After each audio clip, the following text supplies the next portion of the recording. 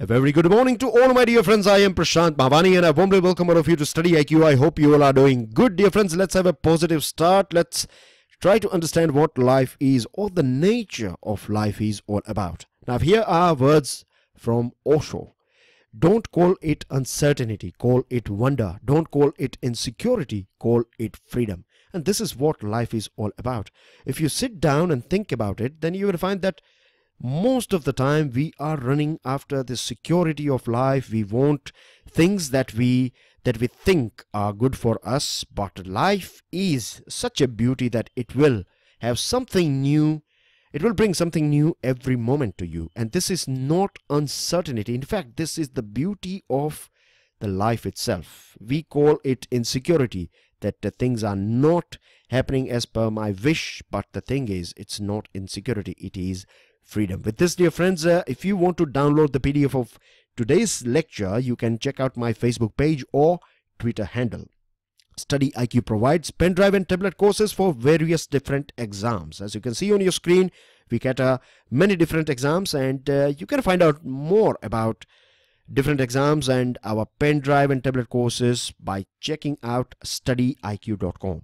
Now, dear friends, uh, today is Sunday. So on Sundays, you don't have editorials on your newspaper, but what I have decided, and from last uh, couple of weeks, we are doing this thing that every Sunday I bring and present to you uh, with a special topic. And the topic that I have selected today is a very important topic. It is pertaining to autonomy of higher education institutions. Now when we are talking about higher education institutions we are talking about universities and colleges and it is very important isn't it? Because higher education education itself let me break let me start with basics. Education is part of your syllabus. You find question based on education every year in your mains examination the other thing is, let me throw some background information regarding how education system uh, has changed and evolved in different times.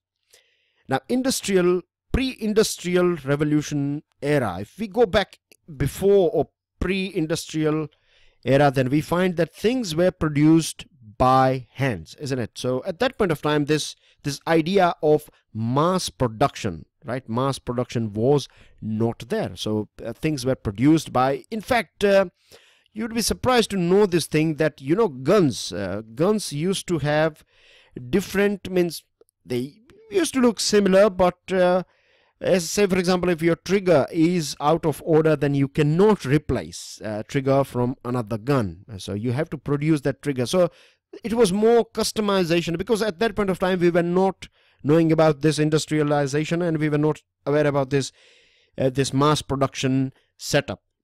Then later on we had this uh, industrial revolution and then we had this factories new processes came in and eventually uh, what we started doing is mass production. So mass production basically means producing same type of cars and products right? So they are identical. They are in fact exactly the same because you are using machines uh, to to produce these products so this thing, this mass production thing or similar sort of product hangover can be seen in many universities and colleges as well. Because uh, after finishing your college or university you will eventually work for these factories so what factories want is from you is that you should be able to work this many fixed hours and you should be able to do this routine job. The more clerical work you do, the better you will get with it. The more production work you do, the better you will get with it. But after a period of time, you find that uh, people will become expert in one thing. But uh, when it comes to creativity and other things, then we are lacking because universities were designed in such a way that they were teaching similar sort of things. They were training basically this mass production kind of people I hope I'm making sense here. So this is background information. I believe that without this, this it would be a bit difficult for us to understand what autonomy is all about. Then in Western world, all these uh, famous universities, they realize this thing that uh, you cannot innovate, you cannot be creative if your if your syllabus is fixed, if everything is basically focused towards this industrialization. You need to think out of the box. You cannot pay attention or your all energy should not be invested in this one basket.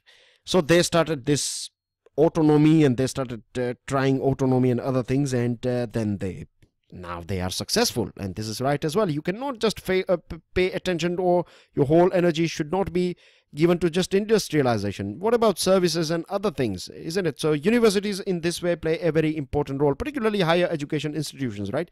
They play a very important role here in thinking out of the box and and it's not just just about commercial products. It's about science it's about social science it's about our way of life you know understanding brain and how it works and there are so many things i can go on and on. And i'm sure you all are aware about this thing as well that research in research doing research is means you have all different branches right uh, or different topics on which uh, we find that research is going on in different part of the world now, a scheme, a new scheme is out, and this scheme is been released by this, uh, you can say, HRD ministry. Then you have this UGC, right, uh, University Grants Commission.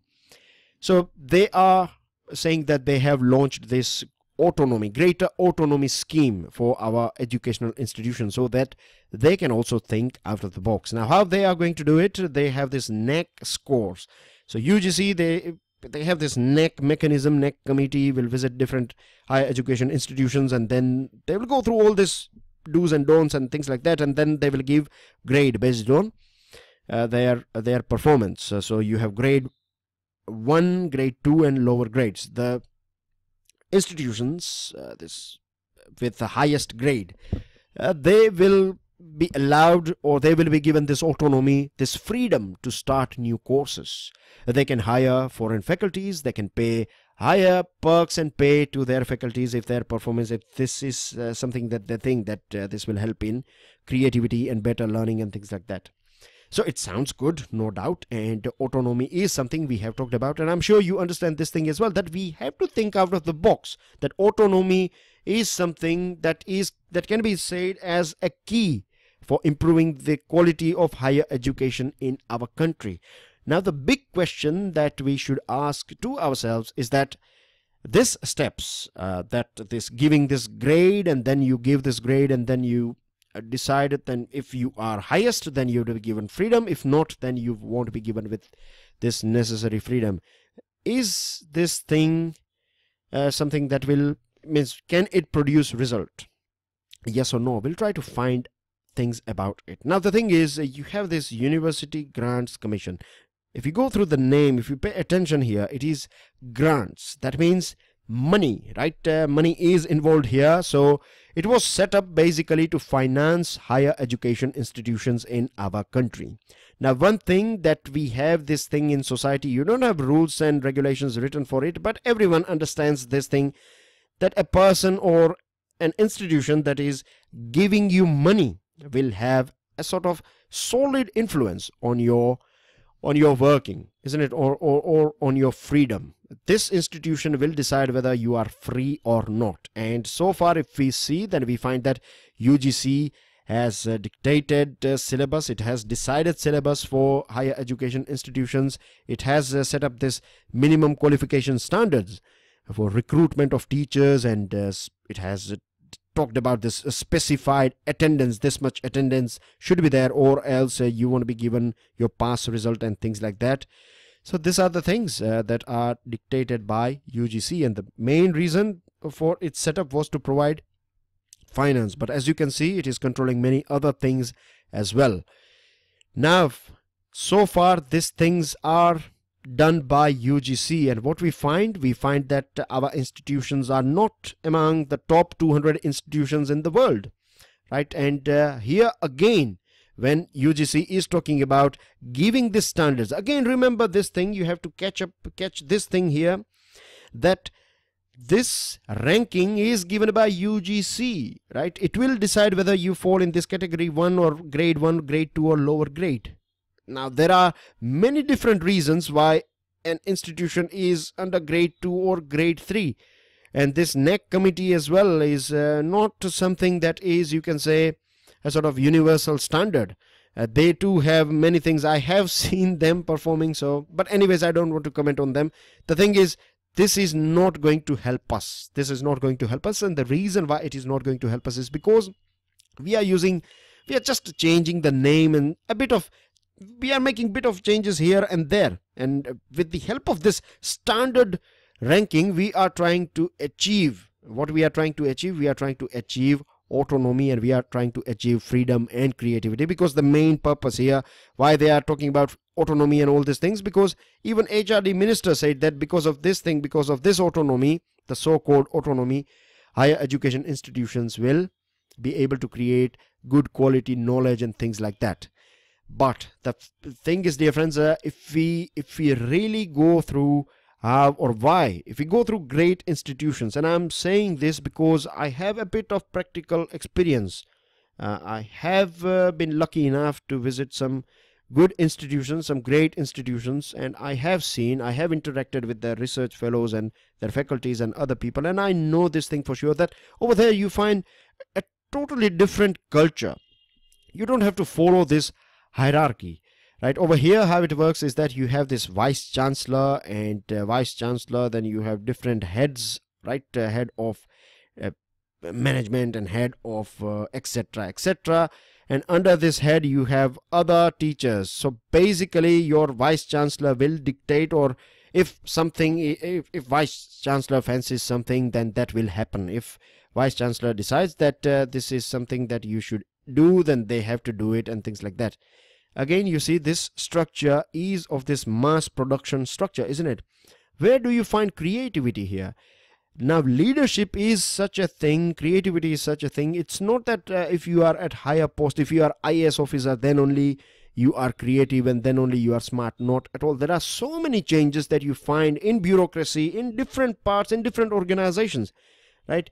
There are creative people at all different level. You have to understand this thing that you have creative people at different level you have uh, leaders at different level and you have say for example if you have a teacher or a professor who is a leader and that this person can really come out with something solid uh, and if you are giving orders if orders are coming from top and if no autonomy is provided here then you can see here that we are the, the stakes are quite high. We are losing on knowledge. Knowledge is power and all the things that means if you go back in the history as well then you will find that all these wars during this war era all those kings have won the war who have used the latest technology innovative methods and creative things.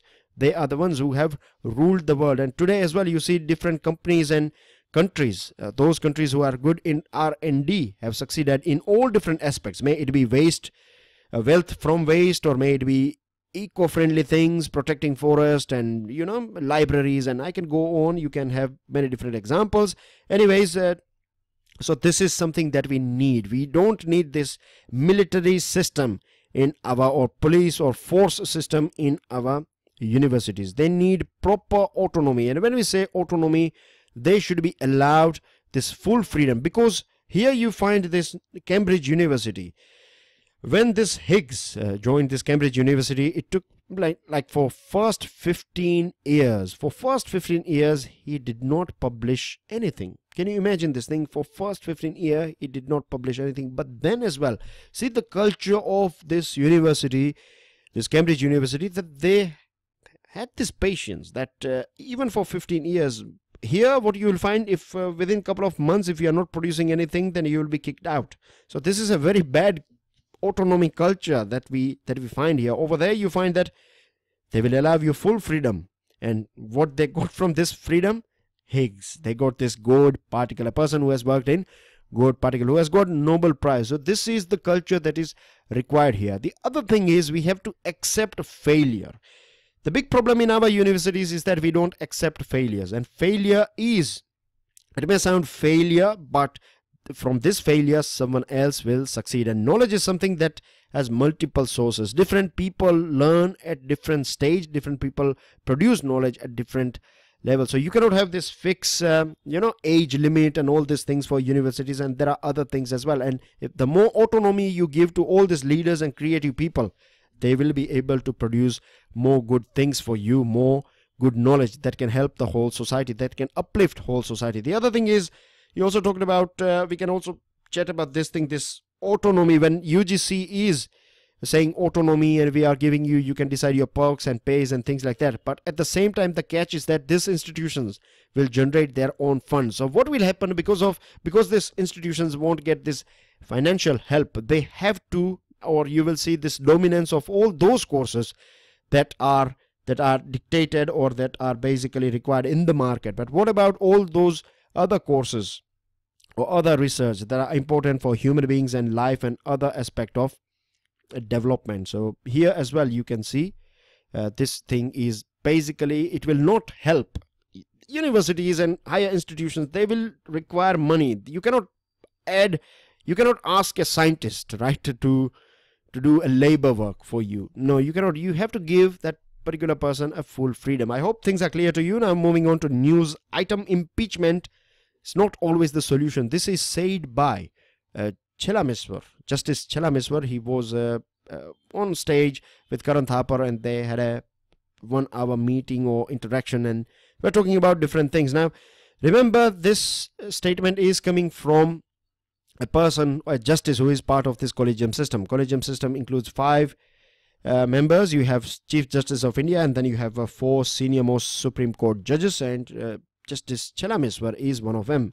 And he has said that uh, no system created by human beings is perfect. We need more uh, transparency. He has talked about this thing that uh, there should be an audit of judiciary and its collegium system because we are living in a democracy. About this master of roster on which you have special uh, video lectures available on our youtube channel. So you can check it out if you want to know more about master of roster. But it all started back in January when this uh, four senior most judges of collegium they came out uh, for a press conference and they were not happy with Chief Justice of India and Chief Justice of India basically came out with this master of roster now.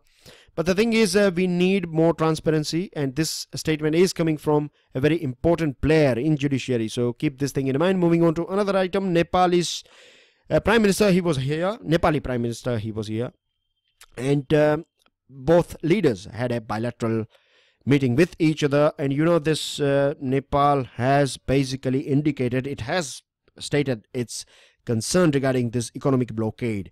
Economic blockade took place back in 2015-16 and uh, it lasted for several months. Now Nepal is a landlocked country and most of its uh, supply is coming from or been going from India. So when you create this economic blockade uh, you are disturbing its whole market and uh, you are also creating huge amount of pressure on the government. So this was done by india sadly but this is clearly stated by nepal that this sort of games will not be entertained by nepal. And this is right as well. Uh, if we be impartial then this is right that nepal will of course uh, it is a very you can say poor country and uh, hopefully new government will take it to the path of development. And here, China and India can play a very important role in the development of Nepal. And Nepal will try to make the most out of this difference between China and India. In fact, it is talking about this uh, this uh, whole uh, South Asian